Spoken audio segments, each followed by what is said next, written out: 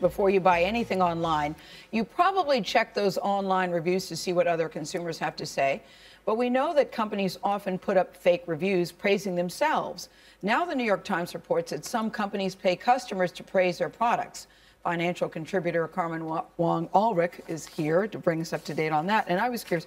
Number one, I have to be honest with you, I didn't know that companies did that, that they put up fake reviews because sure. I'm sitting there reading it. I did, uh, me who's a sucker for an infomercial, but I didn't know that the companies, legit companies, would do that. And how common is the practice? I guess it's is my question. very common. It's incredibly common. As much as you know, celebrities tweeting uh, the products that they like. You know, here's the thing: the Times uncovered basically a manufacturer was offering financial incentives to folks to offer to put down five-star reviews for the cover for an Amazon Kindle. Now, up to about 300 reviews were up. And basically, let me give you an example. What they would do is the, the, the piece actually cost $59.99 they would end up giving you a rebate, so it only costs $10. And here's an example of what they'd ask you to do. Mm. They would say, We will refund your order in exchange for a review.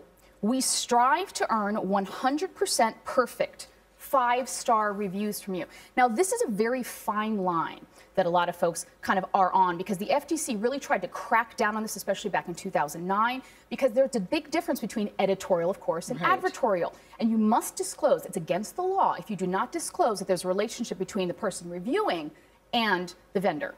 I think that's so misleading. it, it is. So, so that you mentioned this this fine line with the FTC. So typically, as as we're learning, people are starting to realize that sometimes the reviews they see may not be on the up and up, and maybe there could have been some incentive. How, but how prevalent is it? Do we know? Uh, we, we do know, but here's the thing: is the question of is it's so prevalent. The FTC has trouble, just enough manpower to kind of crack down on this. It's really up to the consumer. It's up to us to pay attention to these reviews and see and try to find out and discover what's real. Now, Cornell did a study and found that really, on average, we can only attribute maybe 50 to 60% of fake reviews as fake. So we're mm. not that mm. great at wow. it. But there are things that you can do and look out for to make sure that these are hopefully not fake reviews. For example, you can click on the reviewer's name to see what other reviews they have out there. Now, if they've reviewed also five different types of stoves, the chances are they probably don't have five stoves, so that can be the mm -hmm. assessment. Also, the timestamp.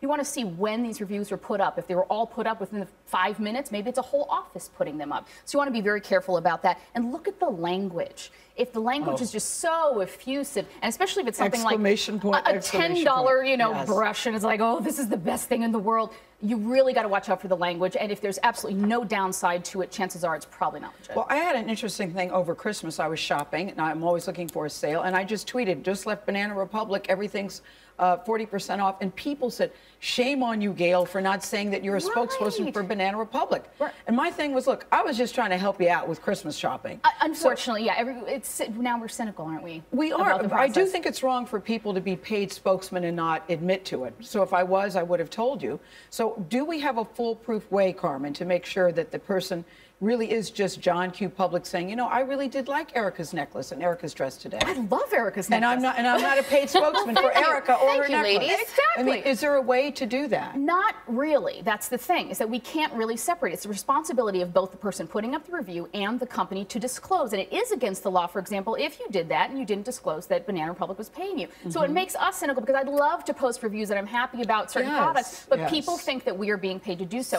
Here's what you need to do go to real editorial sources. For example, CBS Marketplace. Mm -hmm. You can mm-hmm. go in and look for reviews. CNET, electronic reviews. Also, Consumer Reports is a nonprofit. They cannot accept money in exchange for reviews. So you want to go to very legitimate editorial sources. And you know what, too?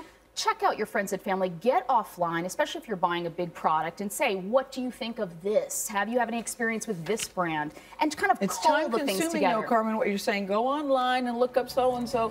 If you're spending several hundred bucks on an appliance, you might want to take time. Exactly, exactly. Okay. Fair enough. Thank you, guys. Thank you, Carmen.